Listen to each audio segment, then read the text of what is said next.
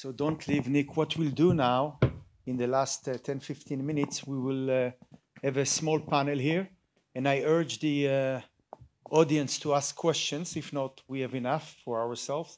But it will be very nice if, uh, if, you, can, uh, if, you can have uh, uh, some of your own.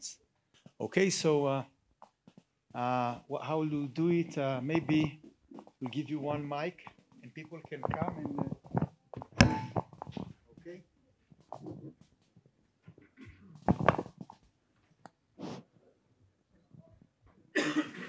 okay. One, two.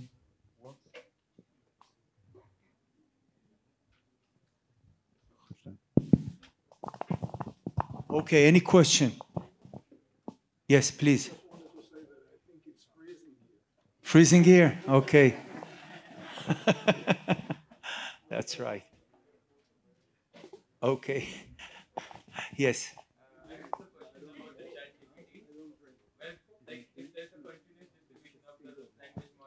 Can, you can you please stand up and, and please ask more loud?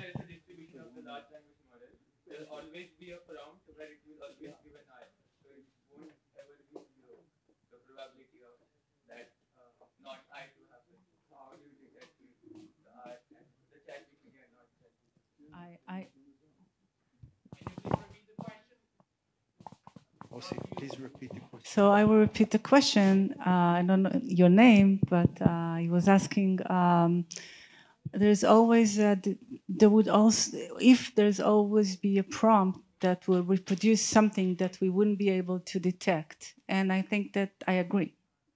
Yeah, the the um, different prompts would recreate different things, and as it's sort of an escalating sort of competition, right? If I detect something, they would use it in a prompt and tell it to do it, and then yeah, yeah. Yes, please.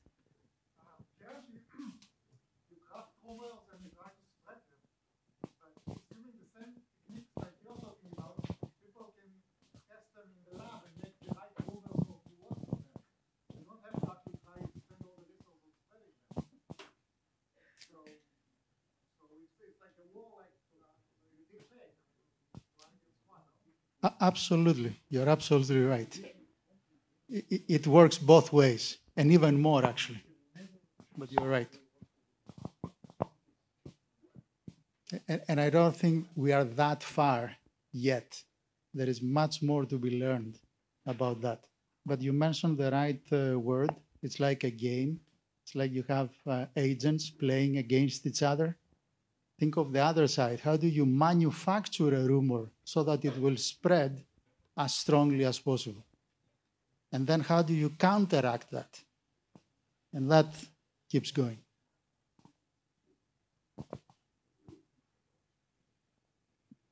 Okay, till you uh, think about a question, I will ask uh, uh, the panel, uh, you know, hearing all uh, those uh, tools, specifically generative AI and so on, how do you see social network looking 10 years from now?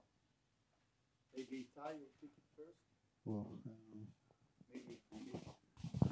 That's that, that's a heavy question. Um, I think that the basic concept with social media was that that's the the square where we all go and uh, and talk to each other, humans, and and what's happening now that is being accommodated by bots and with AI, we will not be able to identify that we're talking to a bot and not a human being.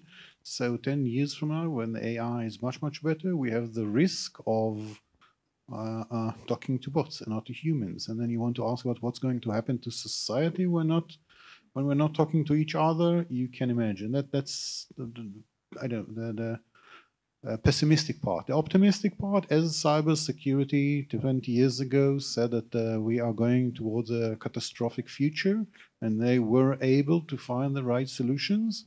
Uh, I want to be optimistic and hope that my esteemed colleagues will find the right algorithms, and 10 years from now, we will still have the future version of social media where we still be able to communicate with humans and, and have humanity.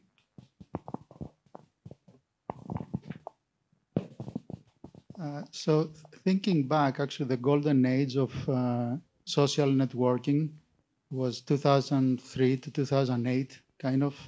That's where many of these things became very uh, kind of prominent, and uh, younger people started uh, uh, using them a lot. Eventually, everybody was using them, and so on.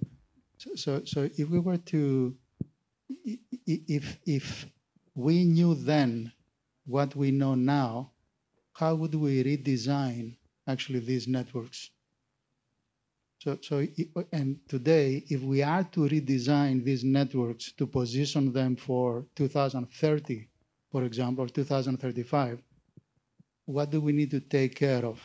So, in my mind, one of the things we definitely need to take care of is robustness to rumors, misinformation, you know, basically what I was trying to, uh, to uh, argue for. That's one element. It's not the only element because uh, at some point, uh, here's another element. At some point, you will have actual humans on, on the social networks, but also artifacts, AI agents on those. So, so how will that interaction occur? And again, how do you make them robust to, uh, you know, to, to, oper- to behaviors that are not uh, uh, appropriate?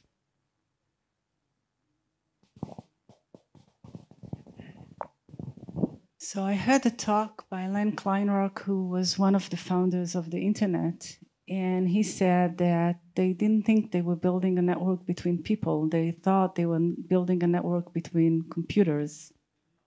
But they were building a network between people, and had they thought about that, they would have thought created it completely different. And uh, now we have social media, and there is a lot of manipulation that can be done. We know that if we create content that is very manipulative and would cause you to be angry, you will probably be more inclined to forward it and to share it. And that has been shown again and again. Um, but, you know, we know about people who manipulated uh, review platforms and created, some person created a restaurant that never existed and gave it a very high ranking. And it, it took that person months to build that credibility. With bot persona now, with ChatGPT personas, we can't believe anything that we will read online in, the, in, the, in a year or two. Certainly not on review platforms. Would we have to create Facebook personas, to create Instagram personas? That would be really easy to create different perso- personas that would communicate differently. So there was a work actually from Stanford a few months ago that they created these personas and they let them play between themselves. Nothing really happened because they're not really generative. So the authors had to inject events into that to create events. So you will have to have a human that would play there and inject events and create some generative stuff.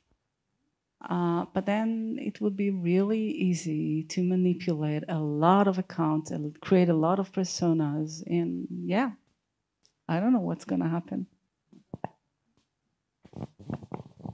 I think that uh, you know it's not only we're talking you know about uh, you know technical issues and what uh, what is possible and what not, but uh, you know when you talk about fake news, not about bots, there is a question. Uh, there is a you know a thin line.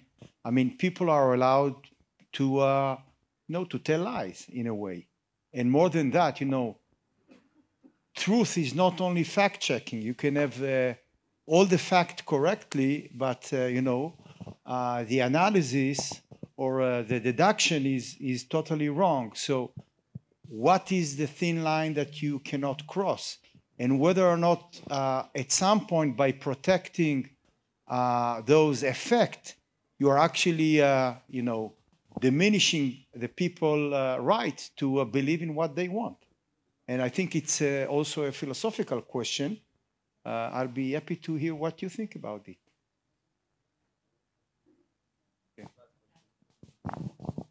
I think that that the boss says the time's up. So uh, I'll just say one sentence about it. Uh, the, the, this whole issue of democra- de- democracy is a huge, huge headache.